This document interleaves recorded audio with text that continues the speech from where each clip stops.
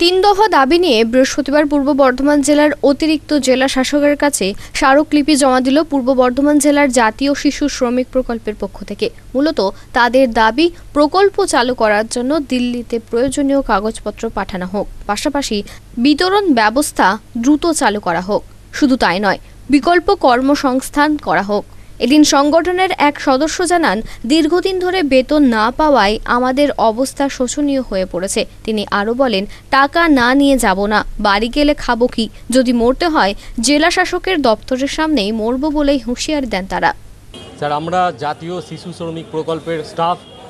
দীর্ঘ একুশ মাস ধরে বেতন পাইনি।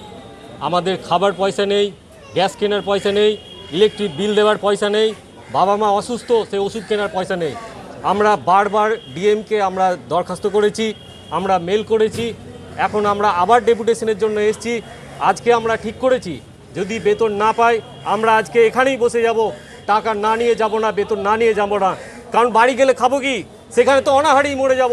যদি মরতে হয় এডিএম এর অফিসের সামনে মরবো। কিন্তু আজকে আমরা এখান থেকে ফিরে যাব না বলে সিদ্ধান্ত নিয়েছি। এসেছেন আমরা ডেপুটেশন দিতে এসেছি জেলা শাসকের অফিসে। যেহেতু উনি আমাদের চেয়ারম্যান এই প্রকল্পের চেয়ারম্যান, একাধারে এবং একাধারে জেলা শাসক। আমাদের আছে প্রায় বিরানব্বই জন। বর্ধমান থেকে পিন্টু প্যাটেলের রিপোর্ট, আনন্দ বার্তা।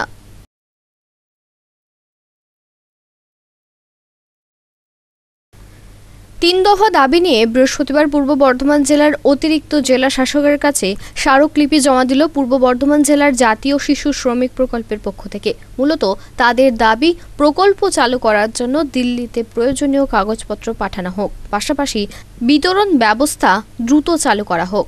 শুধু তাই নয়, বিকল্প কর্মসংস্থান করা হোক।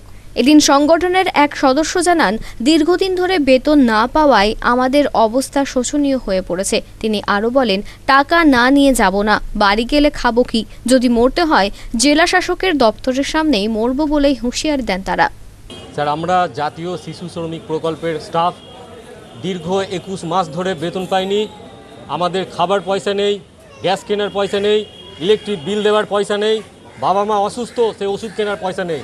আমরা বারবার ডিএমকে আমরা দরখাস্ত করেছি আমরা মেল করেছি এখন আমরা আবার ডেপুটেশনের জন্য এসেছি আজকে আমরা ঠিক করেছি। যদি বেতন না পাই আমরা আজকে এখানেই বসে যাব টাকা না নিয়ে যাব না বেতন না নিয়ে যাব না। কারণ বাড়ি গেলে খাব কি? সেখানে তো অনাহারেই মরে যাব।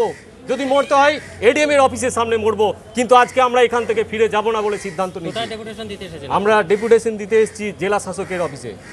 যেহেতু উনি আমাদের চেয়ারম্যান এই প্রকল্পের চেয়ারম্যান, একাধারে এবং একাধারে জেলা শাসক আমাদের আছে প্রায় বিরানব্বই জন।